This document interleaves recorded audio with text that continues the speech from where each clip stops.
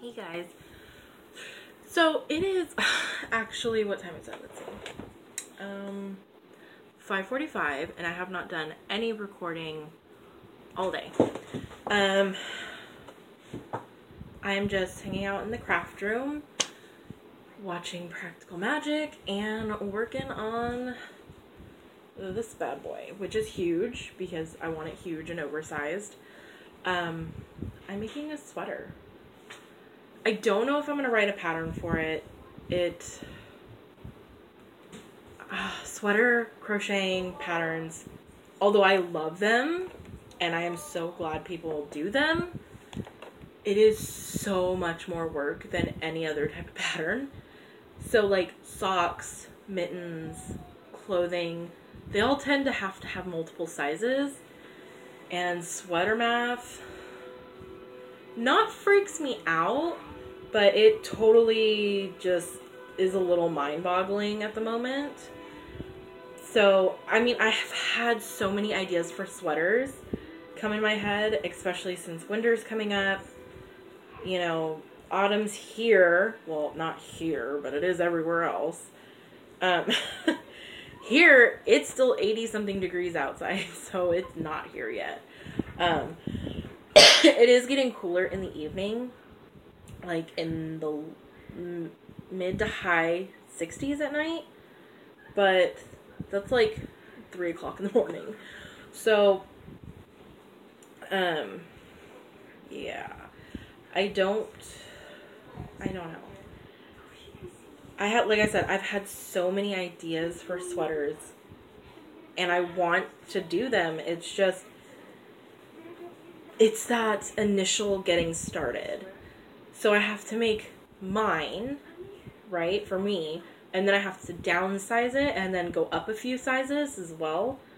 So it's just the sweater math that's involved is just, oh, it seems a little daunting. And I'm good at math. I'm really good at math, but I don't like math. um, so, yeah.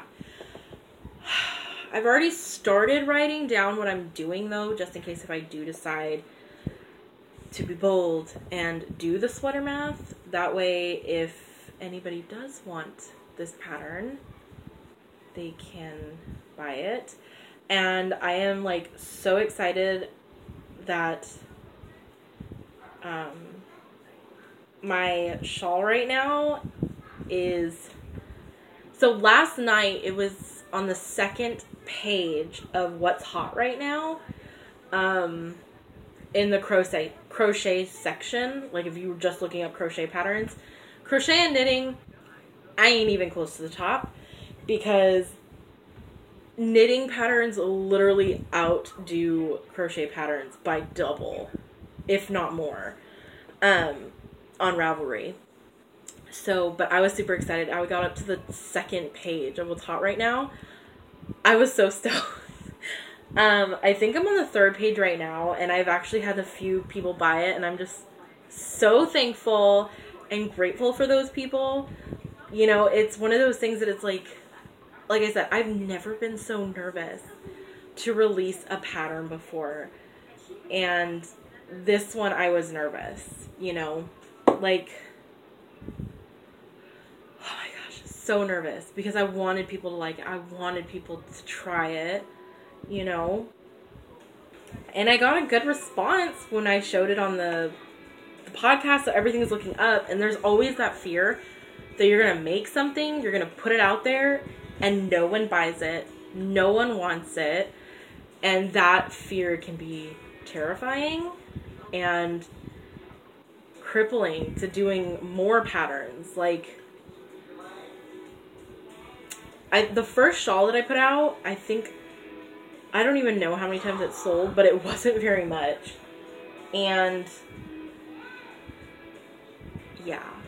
It, it kind of hindered me from doing more patterns for quite some time. But then my inspiration struck and I was just I needed to do it. And I still have another shawl pattern in the works, but I'm stupid and did it with black yarn and I didn't write anything down and I have to try and count black stitches. And it's in wool-like, and wool-like is very, very, very, very black. Like it's not gray black, it's black black. Like, oh my gosh. So I am still working on that. Which I think I'm gonna call the witch. Because it has that spooky vibe to it, and I wanted that to actually be this month's shawl, that it was gonna be so my plan initially I set October for the Tri-Peak Fade, which that was my late date. The date I wanted to have it published in my head was like October or September 20th, but obviously that didn't happen. And here's Colin. You want to say hi? Um, say hi.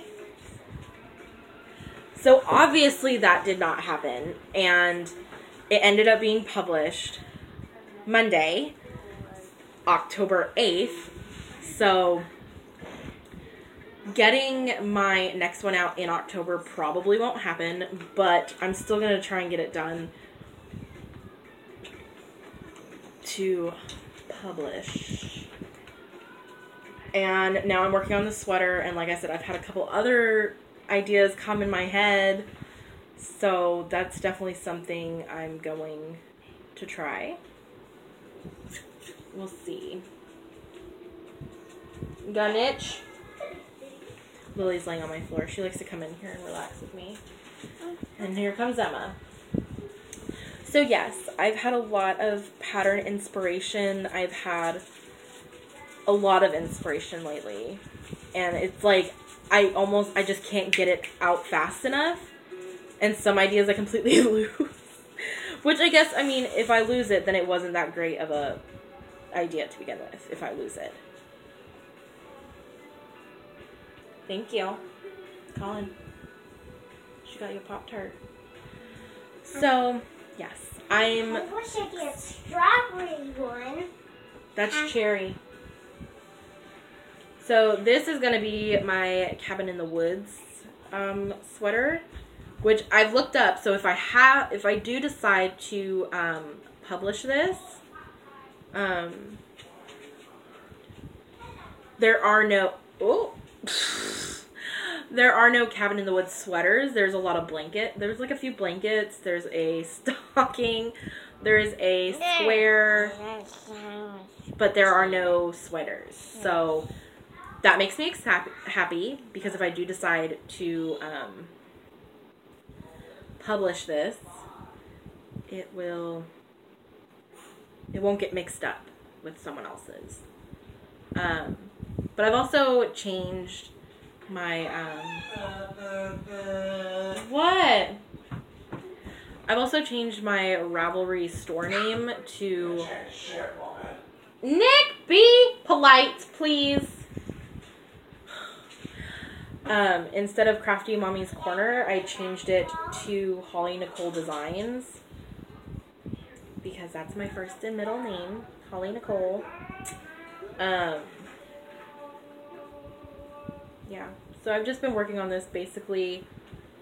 I can't say all day because I have not been up here all day, but I started this last night on the ribbing, um, which is just oh, I'm not gonna say because if I do decide to do, I mean, most crocheters, if you look at this, you'll be able to tell what kind of ribbing this is. Um, but I'm also thinking if I do publish this, I might do a lighter weight yarn version of it because this is super bulky yarn. And this thing is heavy already. And I have not even, I mean, I'm not even close to being done with it, obviously. Um,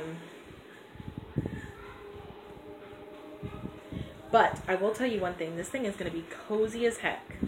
Like, super warm, super big, chunky. It's like that perfect sweater for, like, oh, I have to run to the mailbox. So, like, our mailbox is not right in front of our house like it used to be. Like, we actually have to walk right to the corner and then go across the street. This is gonna be like that perfect sweater in the middle of winter where you're like, crap, I have to go pick up my mail. but I don't want to put on like a whole crap ton of clothes, like a coat and a scarf. Like this is gonna be a cozy sweater, super cozy. So, yeah. So if this becomes, what does that say? I couldn't read it because I don't have my glasses on. Um, so if this does become a pattern, you guys are getting a little sneak peek now. Um, so yeah. I will say that my next shawl is a different shape. It's not the typical shape that you've seen um, in shawls before.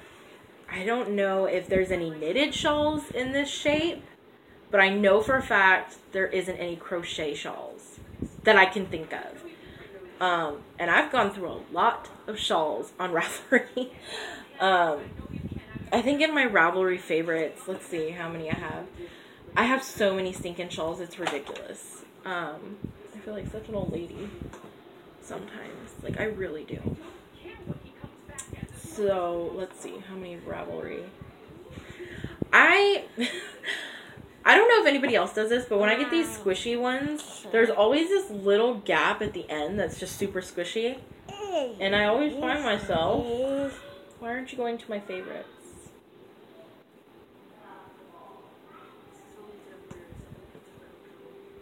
Okay, come on. It's taking forever. Let me try it this way.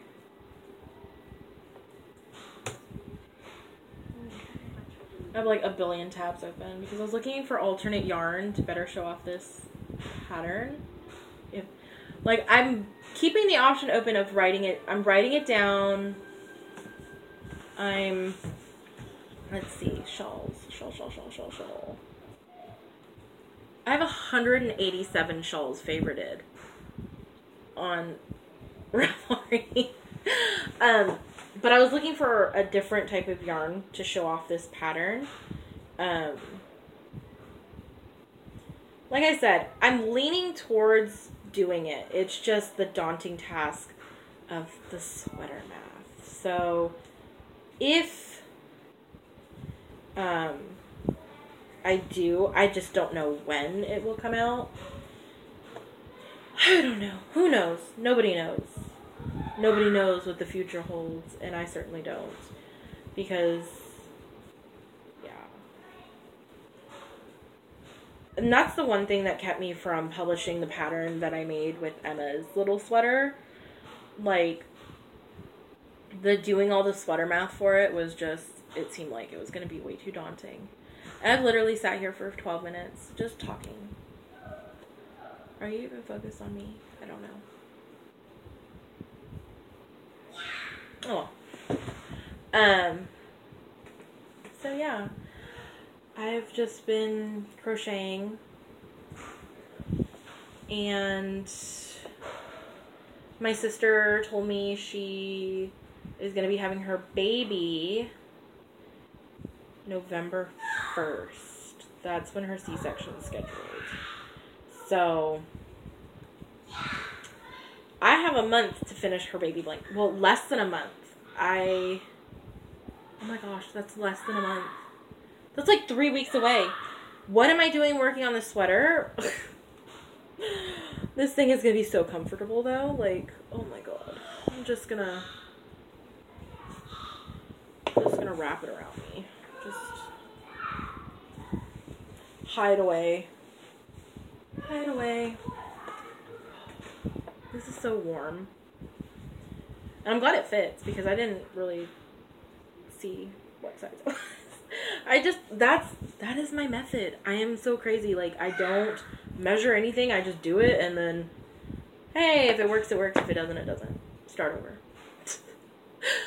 well, now that I realize that I have um less than 3 weeks to get that blanket done. oh, excuse me. I am going to work like that. Work like that. I'm gonna work on that like crazy. Um, so yeah, I hope you guys are having a wonderful, a wonderful day. Um, someone did give me suggestions in um, the comments last video, and I I'm completely blanking on their name. So thank you. And I will probably be doing a craft room tour after I get it cleaned. Because, I mean, right now, it looks clean. But what you don't see over here is like a whole stack of yarn and books and random stuff. And then, well, yeah, that's basically just the stuff. um, but yeah, just getting things a little bit more arranged so I know, like, oh, this is what's here, that's what's there. Because there's days where I'm just like throwing stuff everywhere, and I think that's just like the madness of being a crafter. And I need to find my mom's sign. She used to have it hanging up in our kitchen. It said, You can't expect me to be creative and neat. Or something like that. Something along those lines. Like, you can't expect me to keep be creative and be yeah neat that's what i that's what i thought it was so yeah. Me and my mom have that issue of uh, maintaining order in our creative spaces. So we will see you guys tomorrow even though today was not very eventful like we sat at home all day. Anyways this is 16 minutes long.